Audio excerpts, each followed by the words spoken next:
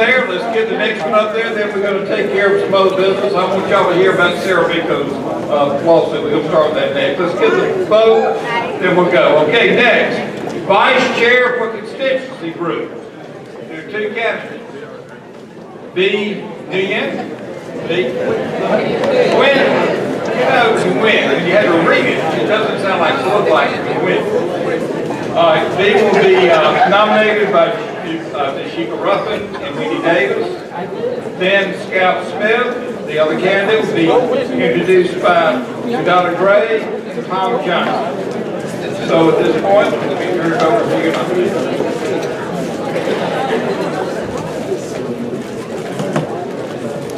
Good afternoon, Georgia Democrats. All right. My name is Ashika Ruffin, and I stand proudly here today to nominate my friend, Bee Nguyen, as our party's next vice chair of the constituency group. You can clap. Bee's motto has been, when everyone is included, everyone wins.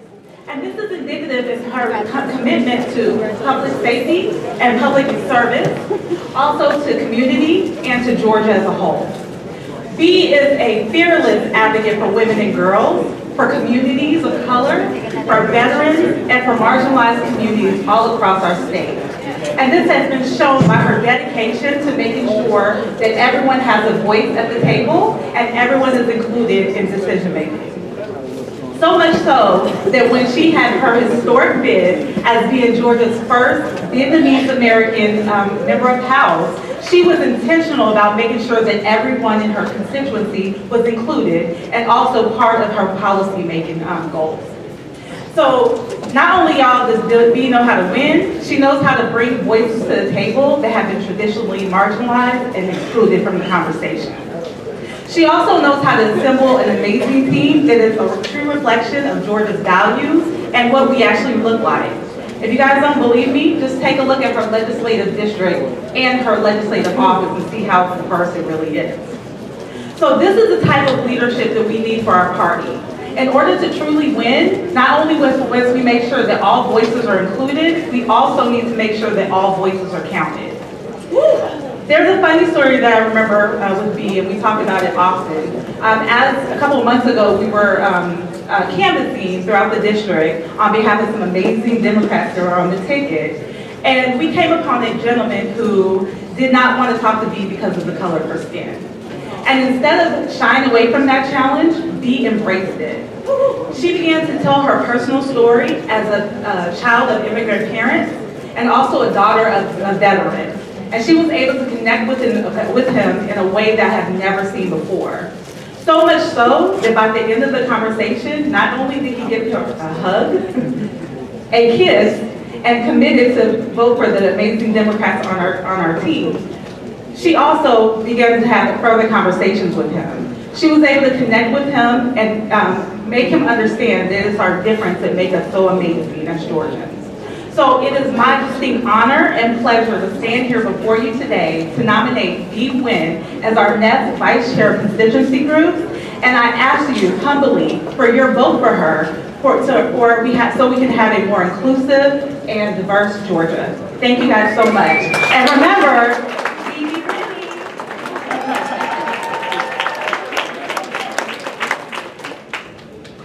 Good afternoon. I want y'all if you're in the back, you can see it, but if you're in the front, I want y'all to take a look around, twist your neck around, don't break your neck, but look at this room. So not only is it standing room only, but it looks like Georgia. Think for a minute about the other party in our state. If they had a room with this many party leaders in it, how many people of color would it be? Lots of color. All right? This vice chair vice chair position is about making sure our diversity is strong in every way you can think about diversity. And I will tell you, I have been watching Bee, and she works her fanny off. And how she connects with people is with authenticity and with understanding that you have to be intentional about what you do. I've been around, there's seven people in this room who were young Democrats back in the late 80s when I was. Been around a long time. She's gonna do it. She's gonna reach out to the state, and our caucuses are not little subsets of the people in this room. Our caucuses are how we grow the party, and Bee will do that, and we will win with Bee.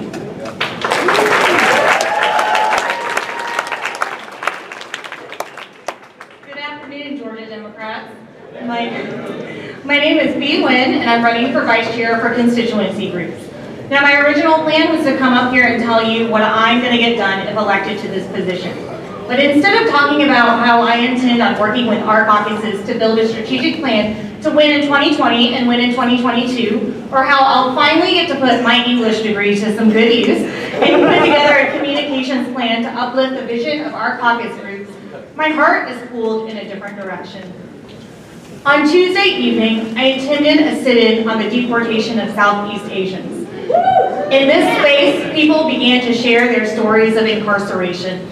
Black, brown, yellow, and white. U.S. born and foreign born. People from every part of our state. Common themes began to emerge. Mass incarceration, the war on drugs, distrust in the police, the for-profit prison system, the destabilization of the family unit, and the recognition that immigrant detention is an extension of the criminal justice system in America. And that we can and we must unite. In this space, I witnessed starkly different communities come together over a shared issue, one that has devastated their lives and the lives of their loved ones. I sat in the back of the room and I cried the entire time.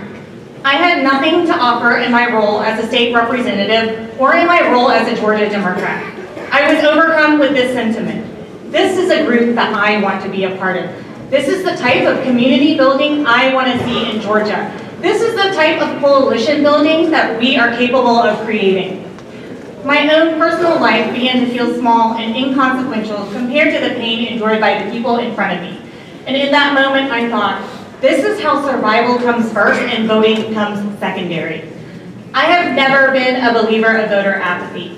What I've come to recognize is that the 2.5 million registered voters who stayed at home in 2018 were busy surviving or they didn't believe in a system that has failed them, or they did not believe that their voices mattered, or we just simply did not ask them to vote. That's right.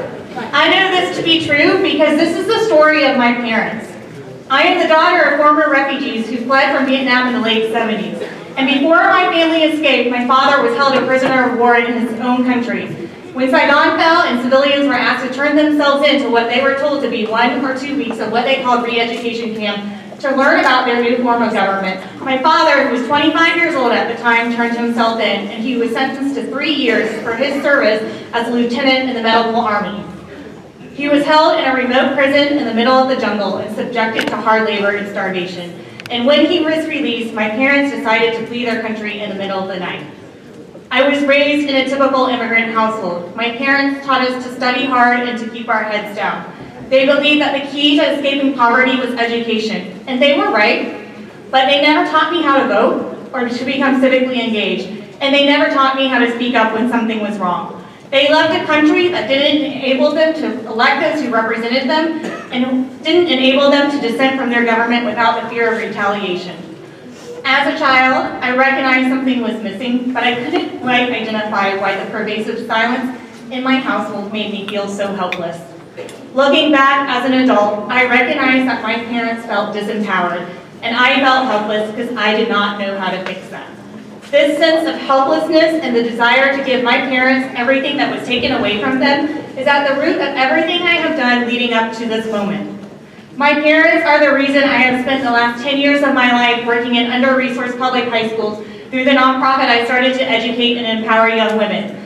My parents are the reason I managed the campaign for Representative Sam Park and built a broad-based coalition reaching out to constituencies who are so often left behind. They are the reason I recruited over a thousand volunteers for Georgia Democrats in 2018 and knocked on over 30,000 doors for Stacey Abrams and Sarah Riggs Amico and the rest of our Georgia Democrats. But this is the truth. No matter how much I accomplish, I'm not sure my parents will ever feel empowered. Just a few weeks ago, when I was elected and sworn in, my parents were out on the House floor with me, which is nothing short of a miracle. And my mother pulled me aside and she said she felt uncomfortable because her English wasn't good enough, and she asked me to take her out of the chambers. And I cannot think of a worse feeling than watching the two people you love the most in the world feel powerless. And that is why I do what I do. That is why I have fought so hard all of my life to make sure everybody has a voice at, at the table. And while I fight hard to build a party where everybody feels valued and everybody feels heard. Because I know all of us at some point in our lives have wrestled with the feelings of powerlessness and the feelings of insignificance, and especially in a space like politics where being human often comes secondary. So most of all, I'm here because I don't want anyone to ever feel the way that my parents feel, which is why I'm asking you for your vote as the next vice chair for constituency groups, because I am here to work together to build a party where nobody is left behind. Thank you.